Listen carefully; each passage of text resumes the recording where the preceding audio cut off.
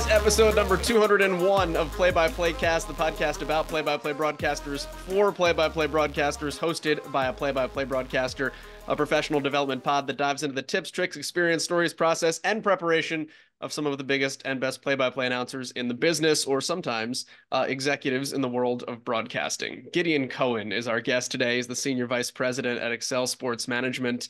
Uh, thanks for coming by. Absolutely. Uh, first off, love the intro music, so um, that got me all fired up for this interview. Thank you, thank you so much for having me. my my pleasure.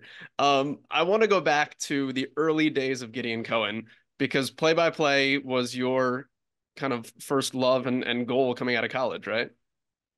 It was. It was. I grew up. Uh, I grew up in Westchester County uh, in New York, and you know, basically, like my dream was to be a play-by-play voice.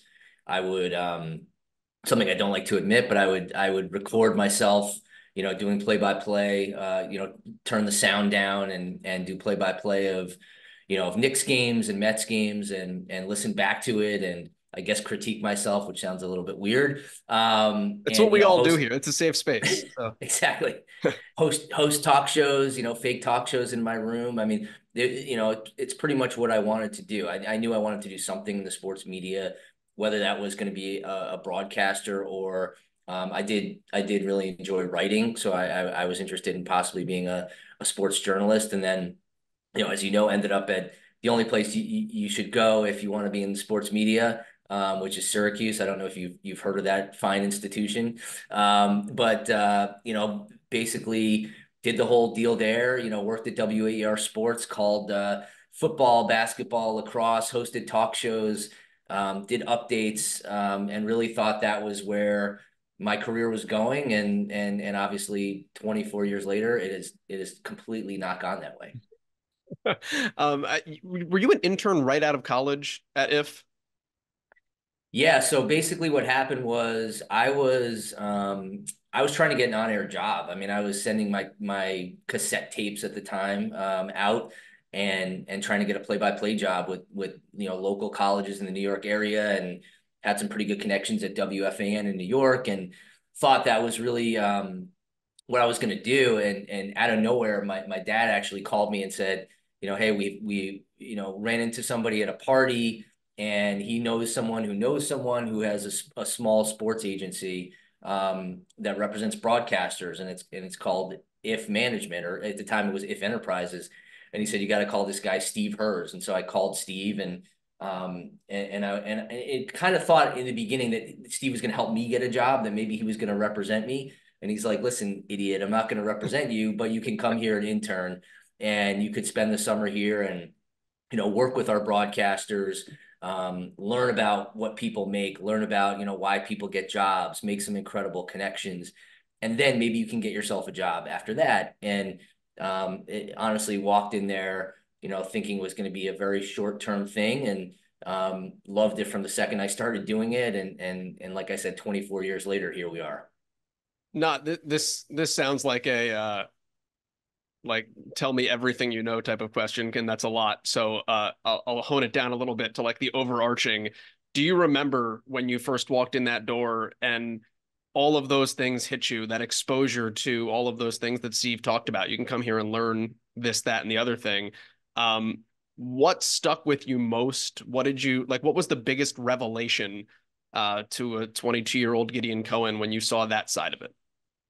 I think the biggest revelation was there's no way in hell I want to be a sportscaster. Uh, really? Myself. I mean, it would listen, it was, you know, it was a little bit of, of getting inside the sausage factory and seeing how the sausage is made. I think you know, understanding the reasons why people get hired, how hard it is to get hired. Um, the fascinating part was obviously learning how much money people make, you know, actually like looking at contracts and saying, oh my God, I know, you know, how much this guy at ESPN makes now and um, understanding why, uh, you know, an athlete who's retiring might get a job and just taking a look behind the curtain. Like that stuff was, was completely fascinating to me. But I also, I also gained a new appreciation for what play-by-play voices and other sportscasters do and just how hard it is. I mean, it is it is hard. Sometimes it's not about how good you are. Sometimes it just is about timing and connections and relationships and um, and so many factors. So I think that was that was a pretty eye-opening moment for me when I when I walked in the door there.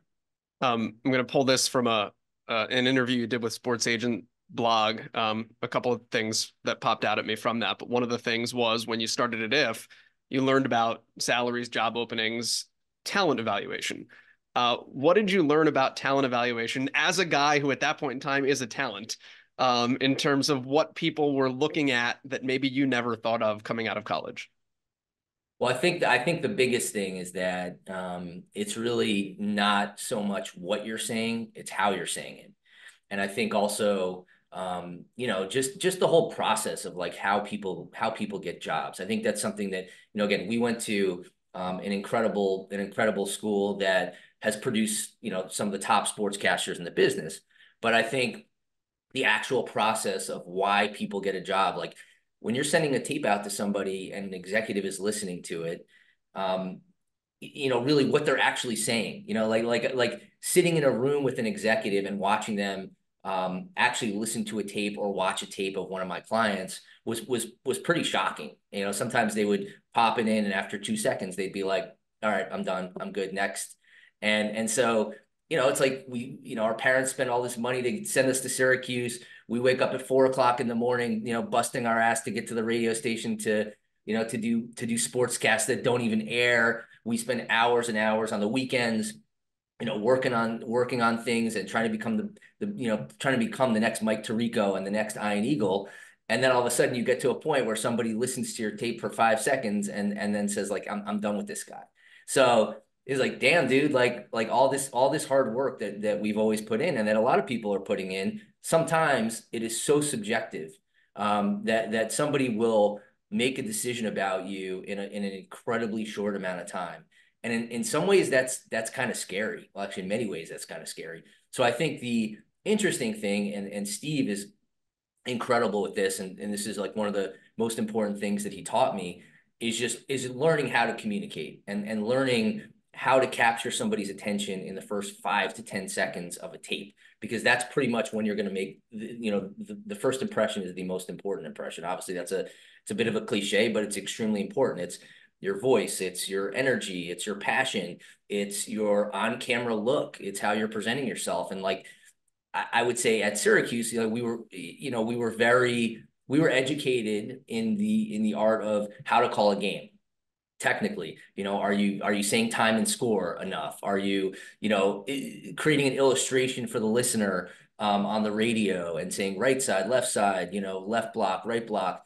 All that stuff is extremely important but but what i learned especially from steve was just putting in the effort and understanding of of the subjectivity of it and how you can control how you communicate um let me go back to the very first thing you said and you kind of wrapped it up full circle at the end, but it's not necessarily what you say as a broadcaster, it's how you say it.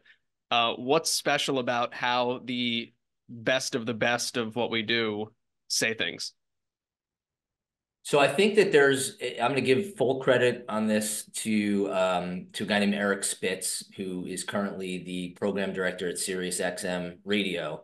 Um, I interned for Eric at WFAN, in New York, as I mentioned, and Eric created something called the Poke Scale, and and poke stands for passion opinion knowledge and entertainment so if you look at all the top broadcasters whether you're a play-by-play voice whether you're a host whether you're an analyst you got to have passion you know like that that that's extremely important you got to have an opinion you can't be wishy-washy on on on where things stand you know should should Dan Campbell have gone for it on fourth down you can't say well you know looking at the number no you have to be very very direct and, and clear about that. Um, knowledge, you know, that's like doing your research, doing your prep.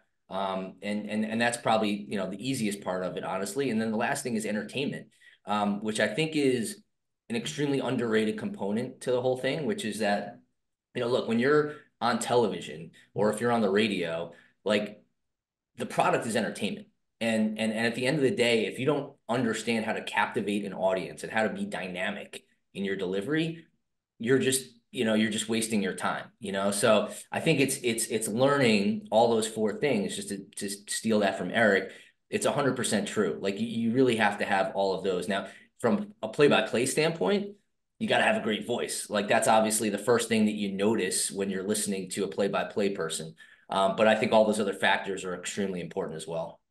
Let me dive into the entertainment piece of it a little bit because, and especially from a play-by-play standpoint, and, and you go back to like what we learned in college of like make sure your mechanics are down and you're calling a great game and description and all of those things. Um, but especially on television, I, and correct me if I'm off base on this, but like it's a TV show, like it's a sporting event, but it's a TV show. And just like you don't want somebody to change in the middle of a sitcom, you don't want them to change in the middle of a, a sporting event. So, how much factors into when you're trying to be a, a network level or a, a big time team level um, play-by-play broadcaster? Character is the wrong word, but but having personality that is unique and different and not forcing it but just like you you've got to play a little bit of a role as opposed to just being a um, guy that points out facts of what's being seen on TV. Well, you, you know, you hit it on the head. You can't force it, and and I think that's the most important thing. Is you you know you don't want to you don't want to be something you're not. You have to figure out. this is why you know, kind of coming full circle with a lot of this, like getting reps and and and doing things like a podcast, doing low low level play by play games. That's why they're so important because you're developing who you are. You're developing your voice. You're developing your sense of humor. You're developing um, your big call, right? So like big call is part of being entertaining. You know, like if you don't, you know, if you don't punctuate a big touchdown, um, you know, it's it, again, it, you're you're sort of wasting your time. So I think it's um, some of the best play by play voices out there. Um, in particular have an incredible sense of humor. They, they'll keep you entertained.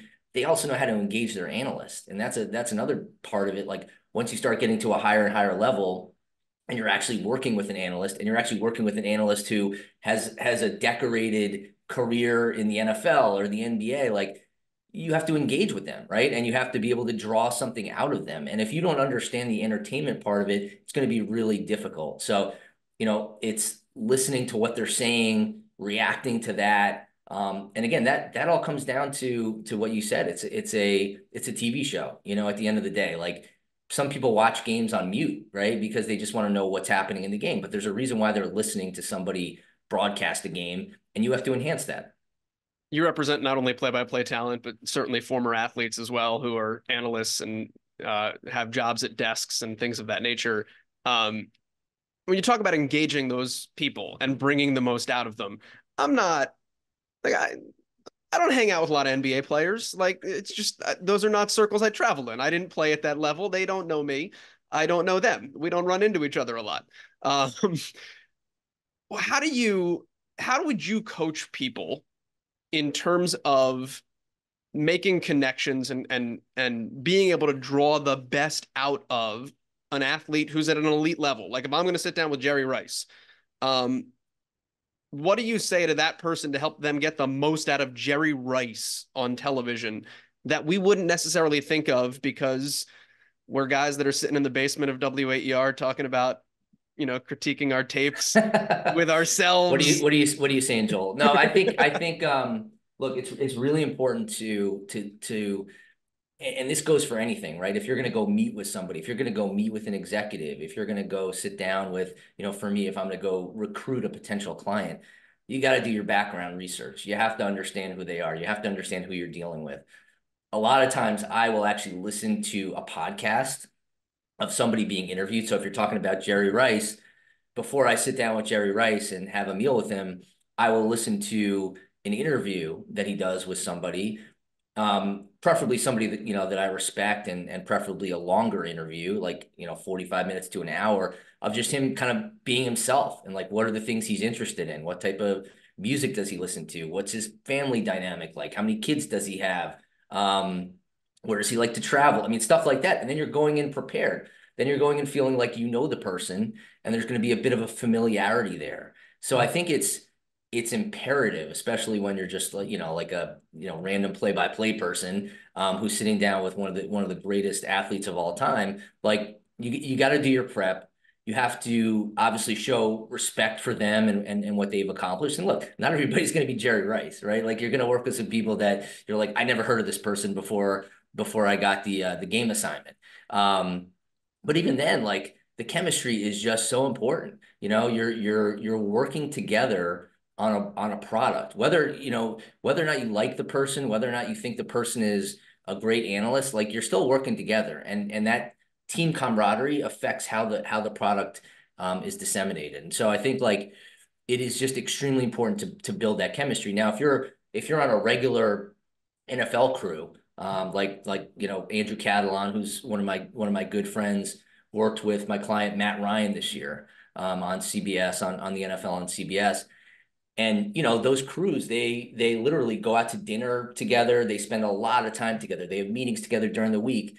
Um, and obviously, in that in that case, you have to just make sure that you're getting along with the person that you're going to be working with for 17, 18 weeks or more. Um, so again, I think it's just going in there with with all the knowledge, the interest, the curiosity of understanding who this person is, and and and looking to develop a relationship because the product is going to be better off that way.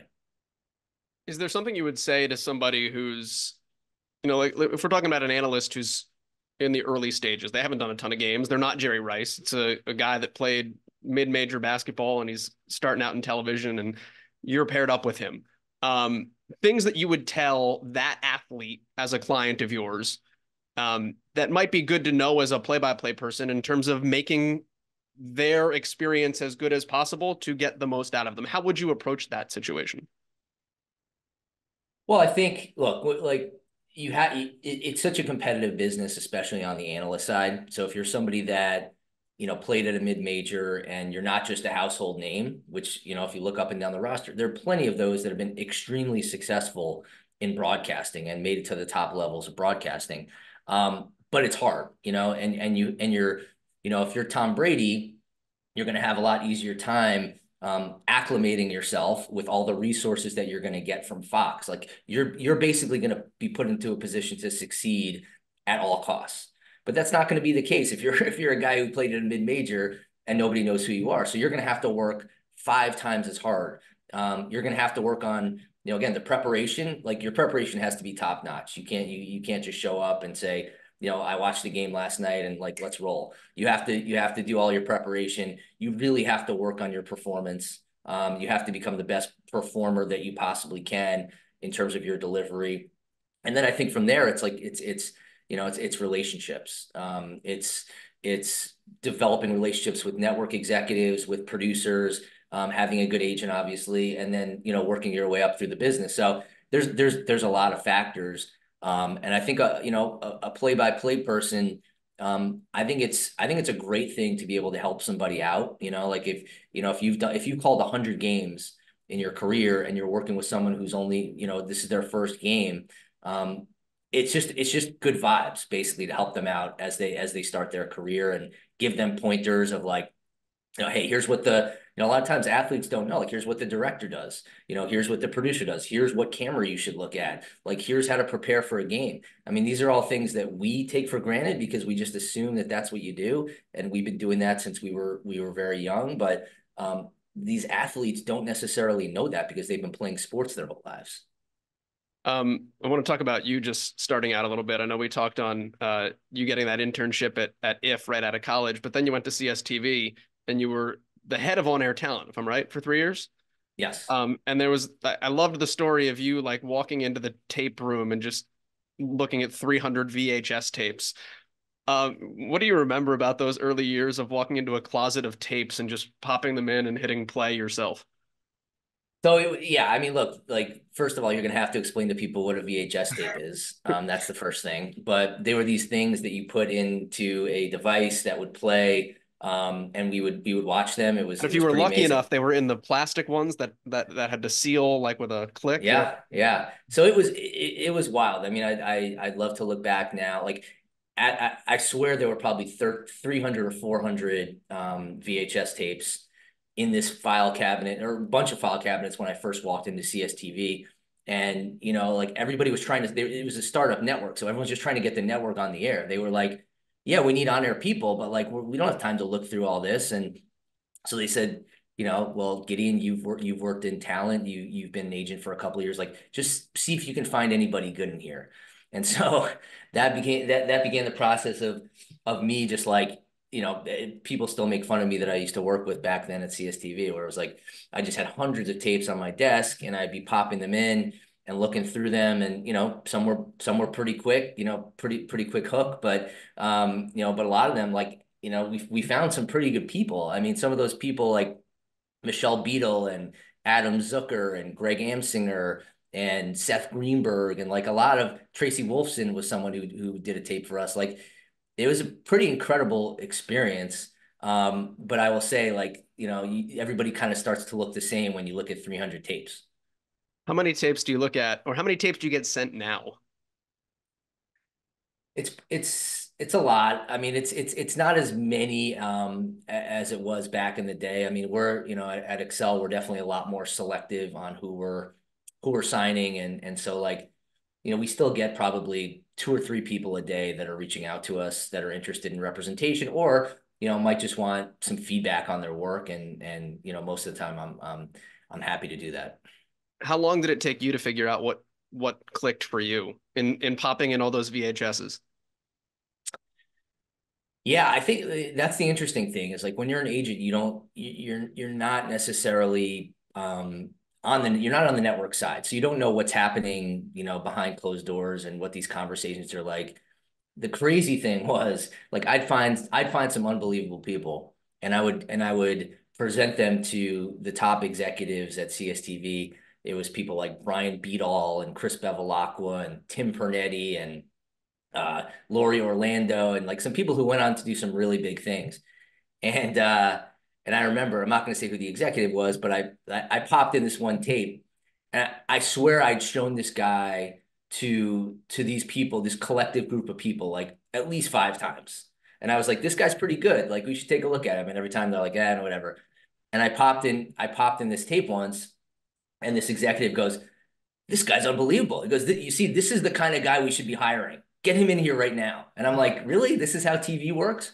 So I think that's the that's the thing that people don't necessarily understand is like, yeah, like there's people that are deserving to get jobs, and there's people that are, you know, have been working at a place for 20 years and they want to get that promotion. But there's a lot of factors that go into it. And a lot of this is like human decisions. You know, executives are, are human beings um, who are making who are making decisions based on a lot of factors. Maybe they had a maybe they had a they're having a bad day and that's why they don't like a certain tape. You know, maybe you know maybe there's a financial issue that that's happening at the company and and you know they're looking for somebody that's more affordable. There there's there there are so many things that go into it. Um, and, and that's kind of what I learned, I think, at CSTV was just, you know, when I was an agent, I just thought it was like, hey, we're just wheeling and dealing and we're sending tapes and hire my guy and great. And what are we paying him? And and once you get into a network, you're like, oh, well, there's actually a lot more that goes into it. You can't just snap your fingers and hire somebody. And especially for me now, like I, when I deal with a place like ESPN, I mean, ESPN obviously has hundreds of executives, you know, thousands of on-air talent. Um, and so to get somebody into ESPN, it's not that it's just not that easy, you know, unless unless it's like a huge name uh, athlete. So I think there's that to me was the was was the most impressive thing on working at a network level was was was learning how all these decisions are made. Did that person wind up getting hired at CSTV? He did. He okay. did. um, I I don't know if this happens in broadcast contracts, but like, what's the weirdest? And you don't even have to say who or what network, but is there like, what's the most off the wall thing you've had included in a contract? In a contract, so um, well, there's there there was one contract that we did recently where um, the the client asked for his girlfriend to be the executive producer of a show that he was on, his girlfriend. Um, and then two weeks later, they broke up, and so the contract just ended up being null and void. so um, that that would that would be that would be the most interesting thing that's I was that's hoping for just like they need red M&Ms in their office, but yeah, no, that's that's good. No, that that that's wild. But like look, a, a, lot of the contracts are boilerplate, you know, especially when you're when you're dealing with a with a big uh, a big network like ESPN, and um, there's only so many things that you can change in some of these contracts. But I will say, when you start when when you start doing deals for some of the bigger athletes, then it gets a little more interesting because then you know they they have a little more leverage um, to to to make demands and ask for some certain things. I was gonna say, do you look at that kind of stuff with a different eye? Like when you look at Tom Brady's the rage right now with all of the talk of going into the Super Bowl. Do you look at like a deal that he gets uh, to be with Fox and and marvel less at him being on television and more at like the agent side of it?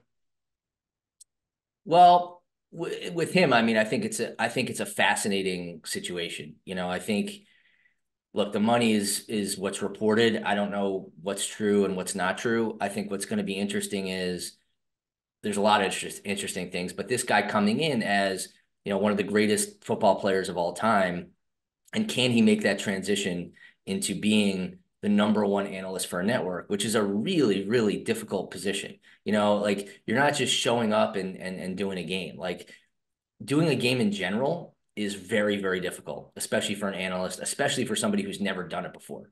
So what I'm interested to see is just how how he how his personality comes through. Um, what happens when there's a controversial play? You know, how is he going to approach that? You have to, like I said before, you have to be opinionated. Like if there's if there's a if there's a controversial rules decision, you know, you can't be wishy washy. You have to be up on the rules. You have to know, you know, the rules change every five minutes in the NFL. Like you have to, you have to understand all of that. And being a lead network guy, like there's a there's a prominence to that.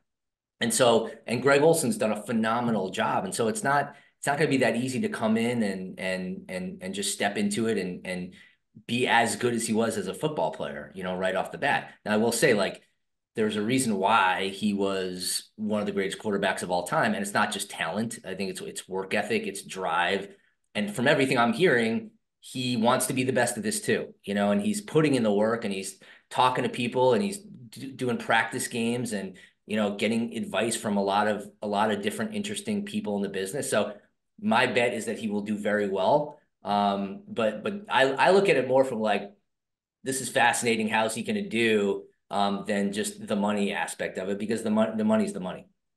Uh, last last pair of questions, I guess, uh, and we'll let you go on this note. Uh, do you ever wish that you um, could have one like last dance as a broadcaster? and uh, and what was the last game you called? Like, have you just for fun put on a headset when you were still coming up in the business? So uh, I definitely I definitely would be curious as to how I would call a game now. Like I think I'd be a lot better than I was back then. Maybe a little rusty on some of the technical stuff.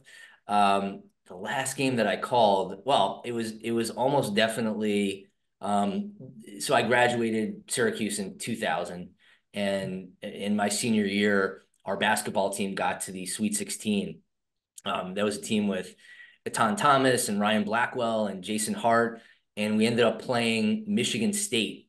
Um, and, and, the game was actually at Auburn Hills, which was which is just like a complete joke. Like they basically got a home game, and they were the number one seed, and that was like Mateen Cleaves and and Morris Peterson and and and all these other guys, and so I called the game with um with this guy Jason Chandler. That was my last game. Unfortunately, we lost the game, and we actually had we Syracuse had a ten point lead at halftime. And uh, and I remember Jason saying like, "All right, all right, Gideon, take us home here. Like we're gonna like like we're going on to the Elite Eight. And the Elite Eight was like a little bit easier. It was, it was Iowa State, um, which also had a good team, but we we could have gotten the Final Four, you know. And as like a 20 year old, like you're you're going on this run in the NCAA tournament, like you're traveling everywhere on somebody else's dime. It was pretty it was pretty awesome. But of course, I failed miserably um, as did the Syracuse basketball team. We ended up blowing the 10 point lead. We, uh, we, we, we lost the game and, uh, and, and my career was over. so there you go. It's okay to say we. That, that I feel like you're at the point in your career where it's just like, yeah, we. I felt I feel I feel like given all the money my family's given to Syracuse, uh, uh, I can say we at this point. Gideon, uh, I appreciate you taking the time. Uh, I know your schedule is crazy, so thanks for carving out a half an hour and uh, and chatting with us. Had a lot of fun. Thanks for having me.